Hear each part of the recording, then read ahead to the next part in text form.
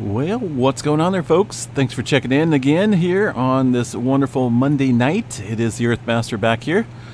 The date today, still out here along the West Coast, June 12th, 2023. Uh, about 10 12 p.m. here along the West Coast in the state of California. Latest activity shows a 1.3 into the Southern California area. Also, know some movement south here along the plate boundary just into the Baja California area with a 4.0 earlier this afternoon. Nothing shown up yet uh, from the USGS map. Uh, so we'll continue to watch that, uh, this area. A lot of times we'll see uh, movement work its way up the plate boundary following activity down south here. So we'll keep Southern California there in the uh, area. Let's see what else we got here. Not a whole lot through the Pacific Northwest. Let's give a quick glance at the tremor map here tonight across the Cascadia with 57 epicenters of tremor. Not that big of a deal uh, dwindling down, it appears.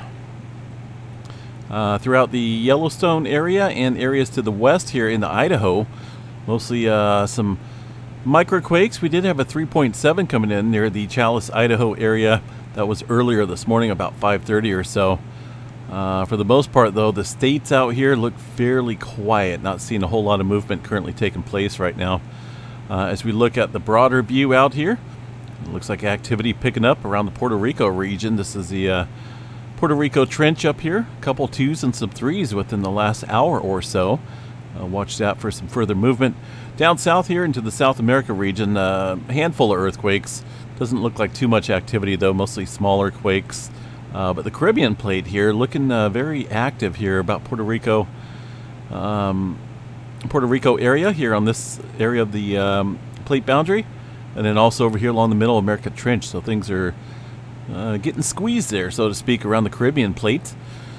Uh, looking at the rest of the map here, looks a little quiet. Notice the Western Pacific here is toning down on earthquakes. Not a whole lot of newer quake activity.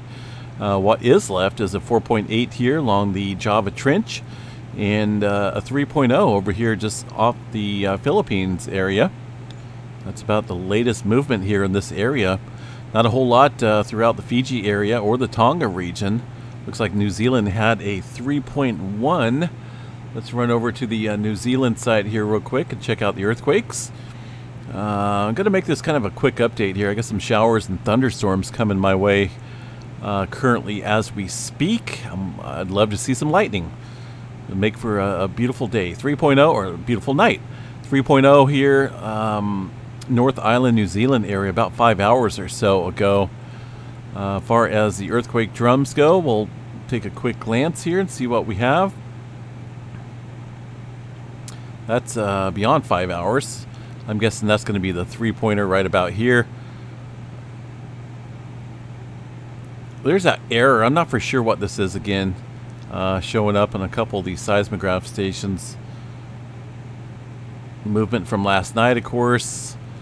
Uh, but for the most part, looks like recent activity is kept to a minimum. Little activity here onto the uh, seismograph station here, it looks like, on the South Island area. But uh, for the most part, things are generally quiet down there in New Zealand right now. The Big Island of Hawaii, about the same. Continuing to see uh, activity across Kilauea volcano, but no major movement taking place up there right now far as earthquake activity goes, the Alaska region quiet as well. It's just eerily quiet. Notice that? It's very absent of earthquake activity. I got to watch areas that are kind of lighting up, and that's this area around the Middle America Trench. Uh, but goodness. All right. Well, uh, north of the Himalayas here as well, into uh, well away from the plate boundary into the China region, seeing a 4.4. That was from this afternoon. Not a whole lot of newer activity kicking up here currently in this area. Mediterranean fairly quiet, couple twos, including a 1.2 that just came in. Uh, the Atlantic Ocean, calm and clear. So, wow. I mean, it's just eerily quiet. We'll continue to watch this, though, of course, and see how uh, it plays out overnight. Normally, when there's calmness like this, uh, something's getting ready to um, pop up here. All right, uh, quick glance here at Yellowstone National Park. Uh, just give this a quick overview. Doesn't look like there's too much activity. There's that three-pointer, 3.6 in uh, Idaho that showed up here across a good portion of the stations. But for the most part, uh, no activity locally at the Yellowstone region. Space weather activity dwindling down as well. Notice there's a whole lot of greenery on the map.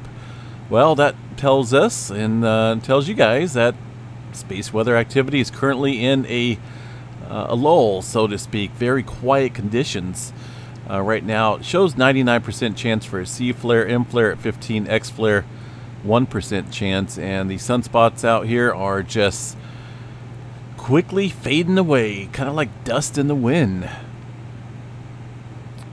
Except uh, not a whole lot of dust out there on the sun.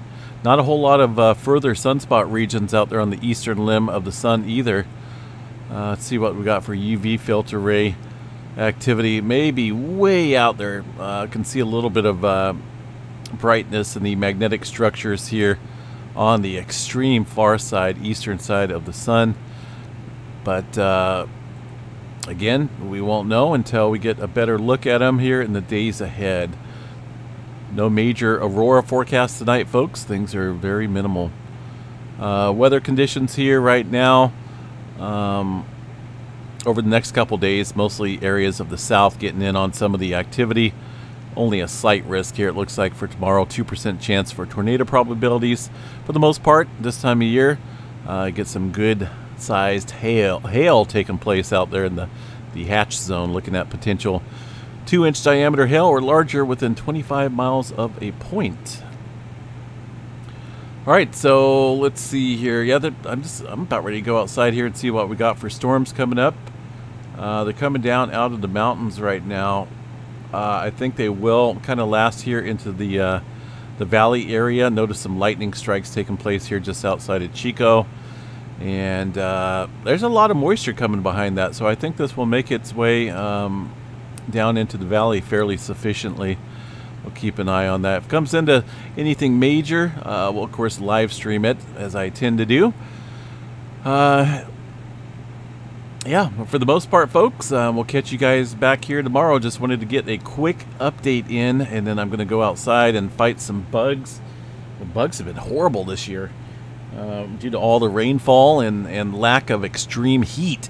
A lot of times the heat will come in and it will just kill off a lot of these bugs that are moisture dependent. Uh, but we got a lot of, I don't know what they are they last for a couple nights and then they fade away and then a whole new swarm comes in. It's not mosquitoes, or mosquitoes are surprisingly very minimal right now, but I'm sure that's just a little calm before the swarm, so to speak. All right, guys, have a good night. Please stay safe out there, and um, yeah, we'll keep an eye on, uh, I guess, right now, worldwide. Things are very quiet with a little uptick, like I mentioned here, across the Caribbean plate. A lot of squeezing going on here across that area. Have a good night, folks. Catch you later.